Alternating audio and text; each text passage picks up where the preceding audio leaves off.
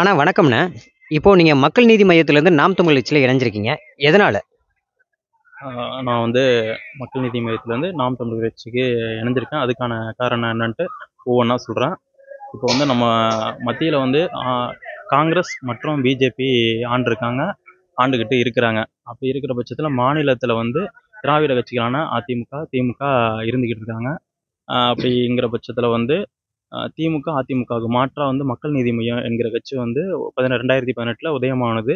இது நமக்கு வந்து ஒரு மாற்றாக இருக்கும் அப்படிங்கிறதுனால வந்து மக்கள் நீதி நீதி மையத்தில் இணைஞ்சேன் இணைஞ்சது பிறகு வந்து ரெண்டாயிரத்தி பத்தொம்போது பாராளுமன்ற தேர்தலை சந்தித்தாங்க தேர்தலில் வந்து ஒரு ஐந்து பர்சன்டேஜ் ஓட்டு நாற்பது தொகுதிகள்லையும் வந்தாங்க. அதுக்கு பிறகு வந்து ரெண்டாயிரத்தி இருபத்தி ஒன்று சட்டமன்ற தேர்தலில் சில பல கட்சிகளோட கூட்டணி போட்டு தேர்தலை சந்தித்தாங்க அப்போ வந்து ஒரு நாலு சதவீத வாக்குகள் வந்து ச- தமிழ்நாடு ஃபுல்லாவுமே வந்தாங்க. ஒரு மாற்றம் தான் தெரிஞ்சுது. அதுக்கு பிறகு பார்த்துக்கிட்டிங்கன்னா இப்போ வந்து திராவிட முற்போக்கு கழகத்துக்கிட்ட வந்து ஆதரவு கொடுக்குறாங்க ரெண்டாயிரத்தி இருபத்தி நாலில்.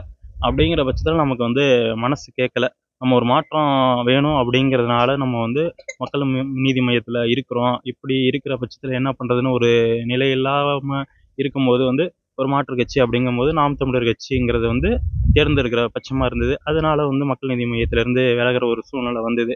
ஏன்னா தமிழுக்காக வந்து செந்தமிழன் சீமான் குரல் கொடுக்குறாப்புல அதுவே நம்மளுக்கு வந்து ஒரு உயிர் மூச்சா இருக்கு. அதுவும் இல்லாமல் விவசாயத்துக்கு முழு மூச்சா குரல் கொடுக்குறாப்புல.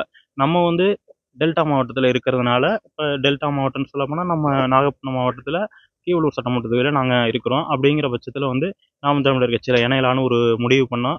அப்படிங்கிற பட்சத்தில் இணைஞ்சு இப்போ வந்து பணியாற்றலான்னு வந்திருக்கேன். இப்போ நீங்க மக்கள் நீதி மையத்தில் பயணிச்சிருப்பீங்க. அதே இது இப்போ நாம் தமிழர் கட்சியில் பயணிக்கிறீங்க.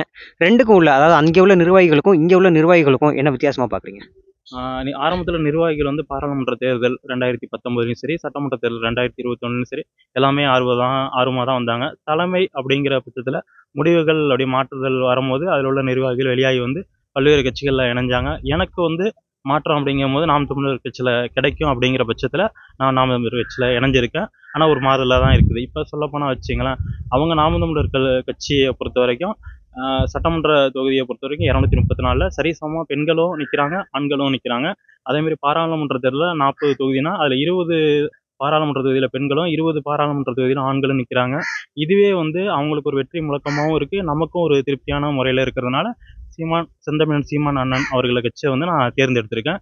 இப்போ பார்த்துக்கிட்டிங்கன்னா வந்து ஜாதி மதம் அப்பாற்பட்டு நடுநிலையாக இருக்கக்கூடிய கட்சினா அது நாம் தமிழர் கட்சி என்று நான் கூறுகிறேன்.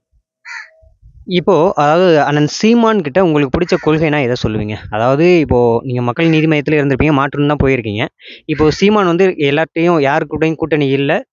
தேசிய கட்சிகள் ஒன்றிய கட்சிகள் திராவிட கட்சிகள் யாருடையுமே கூட்டணி இல்லை அப்படின்னு சொல்லிட்டு நிற்கிறாரு அவர்கிட்ட பிடிச்ச கொள்கைனா எதை சொல்லுவீங்க? அவர் வந்து எந்த கட்சிகள் கூடயும் கூட்டணி இல்லாமல் தனிச்சு இருக்கிறதே எனக்கு பிடிச்சிருக்குது.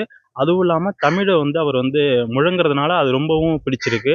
விவசாயத்துக்கு ரொம்ப முக்கியத்துவம் கொடுக்குறாப்புல. அதனால எனக்கு வந்து நாம் தமிழர் கட்சியில் இணைஞ்சு பணியாற்றணும்ட்டு ஒரு ஆசை செயல்படுறேன். இன்னமும் நம்ம திறம்பட செயல்படணும்னு ஆசைப்பட்றேன். இப்போ இப்போ நீங்க வந்த மாதிரி மாற்று கட்சியில் உள்ளவங்க அதாவது இப்போ மாற்றுன்னு சொல்லிட்டு ஒரு சில கட்சி இப்போ சமத்துவ மக்கள் கட்சி அதாவது சரத்குமாரோட கட்சிக்கு சிலர் இணைஞ்சிருப்பாங்க. அதே மாதிரி இப்போ கமல் அதே மாதிரி டிடிவி இப்படி நிறைய பேர் இருந்திருக்காங்க. இப்போ அவங்கலாம் இப்போ கூட்டணிக்கு போயிட்டாங்க. அப்படி இருக்கும்போது அந்த கட்சியில் உள்ள மற்றவங்கலாம் வந்து நாம் தமிழ் கட்சியில் இணைவாங்கன்னு நினைப்பீங்க? நினைக்கிறீங்களா? இப்போ தமிழகத்தை பொறுத்த வரைக்கும் கட்சிகள் கட்சி தலைமையில் உள்ளவங்க வந்து அவங்களுடைய நிலைப்பாடுகளை வந்து உடனுக்குடன் எடுத்துடுறாங்க. அதனால தொண்டர்கள் வந்து திடீர்னு அவங்களுடைய முடிவை வந்து எடுக்கிறது சிரமமா இருக்கு. இருந்தாலும் என்ன மாரி பின்தொடர்ந்து மாற்று கட்சியில இருந்து நாம் தமிழர் கட்சியில வந்து தன்னை வந்து இணைச்சுக்குவாங்க அப்படிங்கிறது எனக்கு ஒரு நம்பிக்கை இருக்கு. ஓகே மிக்க நன்றிண்ணா. Okay okay. செந்தமிழ் சீமான் வாழ்க.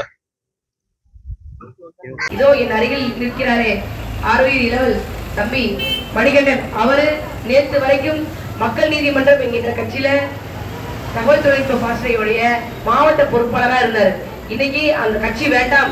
நாம் தமிழர் கட்சி தான் உண்மையிலே மக்களுக்கான கட்சியாக இருக்கிறது. நான் மக்களுக்காக போராட வேண்டும் என்றால் நாம் தமிழர் கட்சி தான் இணைய வேண்டும் என்பதற்காக எங்களோடு இன்று இணைந்திருக்கிறார். அவருக்கு எங்களுடைய வாழ்த்துக்களை தெரிவித்துக் கொள்கிறேன். அவருடைய நண்பர்கள்லாம் நீங்க இங்க பக்கத்துல இருக்கிறீங்க. உங்களுடைய வாக்கு மட்டுமல்ல உங்களுடைய வாக்கு கட்டாயம் நாம் தமிழர் கட்சிக்கு வரும் என்று எங்களுக்கு தெரியும். எங்களுக்கு தெரியும். ஆனா உங்களுடைய நண்பர்களுடைய வாக்கு எங்களுடைய குடும்பத்தினருடைய வாக்கு கட்டாயம் நாம் தமிழர் கட்சிக்கு வேணும் ஆட்டோ ஓட்டும் நண்பர்களுக்கு நாங்கள் சொல்லிக் கொள்வதெல்லாம் ஒன்னே ஒண்ணுதான். டீசல் விலை பத்தாண்டுகளுக்கு முன்னாடி எப்படி இருந்ததுன்னு தெரியும். இப்போ எப்படி இருக்குங்கிறது தெரியும். பெட்ரோல் விலை கேஸ் விலை எல்லாமே ஏறி போயிடுச்சு. பத்து ஆண்டுகளுக்கு முன்னாடி ஒரு லிட்டர் டீசல் விற்றா வெறும் பத்து ரூபா மட்டும்தான் மத்திய அரசாங்கத்துக்கு வரி செலுத்தணும் ஆனால் மோடி ஒரு கேடி இல்லையா? இந்த பத்து ஆண்டுகள் ரெண்டாயிரத்தி இருபத்தி நான்குல ஒரு லிட்டர் டீசல் வித்துச்சு அப்படின்னா கிட்டத்தட்ட முப்பத்தி மூணு ரூபா மத்திய அரசாங்கத்தின் வரிக்கு மட்டும் போகுது. வரியெல்லாம் வாங்கி வச்சுக்கிட்டு நீ என்னதான் பண்ற அப்படின்னு கேட்டா ஒண்ணுமே திரும்ப கொண்டு வர மாட்டோம் ஒக்கி போய் நிவாரணத்துக்கு காசு கொடுத்தா கொடுக்க மாட்டேங்கிறாங்க. கஜா போய் நிவாரணத்துக்கு காசு கொடுத்தா கொடுக்க மாட்டேங்கிறாங்க. சென்னை பெருவெள்ள பாதிப்புக்கு காசு கொடு நிவாரணம் கொடுத்தா கொடுக்க மாட்டேங்கிறாங்க. நம்ம கிட்ட இருக்கக்கூடிய தம்பி மணிகண்டன் அவர்கள் தங்கை முன்னிலையில் நாம் தமிழர் கட்சியில் இணைகிறார். தம்பிக்கு உறுப்பினர் அட்டை கொடுத்து வரவேற்கப்படுகிறது.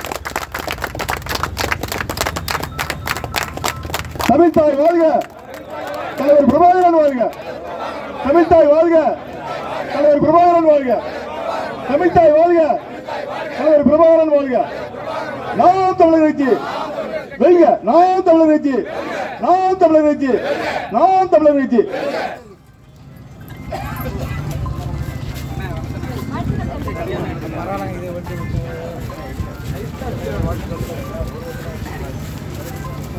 நம்பிக்கை அனைவரும் வாழ்த்து சொல்லலாம்.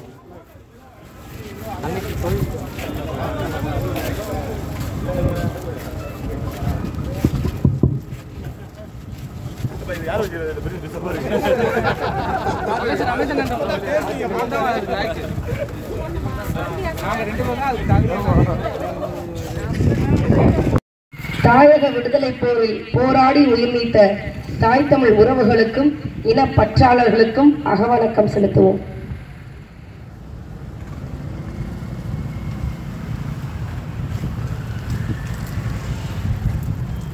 நிறைவு செய்வோம்.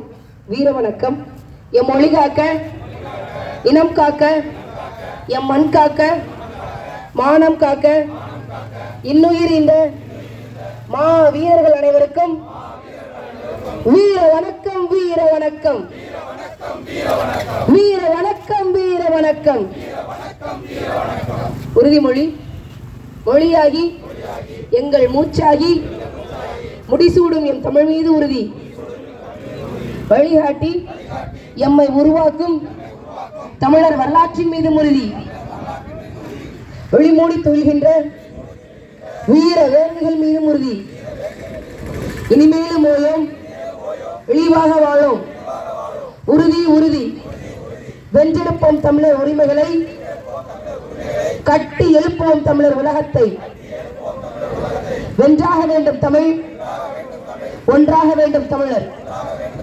தமிழார் இணைந்து நாம் தமிழராய் நிமிர்வோம். நாம் தமிழர். நாம் தமிழர். நாம் தமிழர்.